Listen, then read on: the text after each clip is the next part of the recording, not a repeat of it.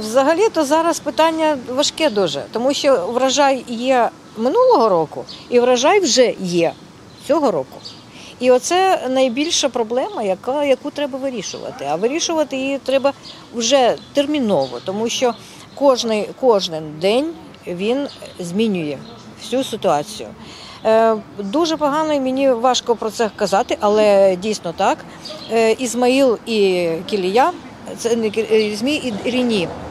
Там місце, де зараз звозять наше зерно, наше тодішнє зерно.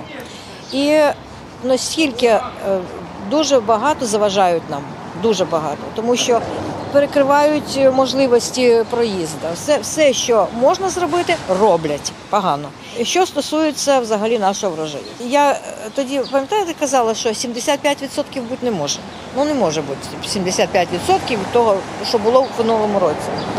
Е, я так поставила ну, 50, може, може 50, але це з таким, з таким уже ударом, мабуть, буде на 50 десь відсотків, що ми отримаємо врожай. Але поки буде врожай, минулорічний, ми не зможемо роз, розбити, розбити на якісь там місця наш новий врожай.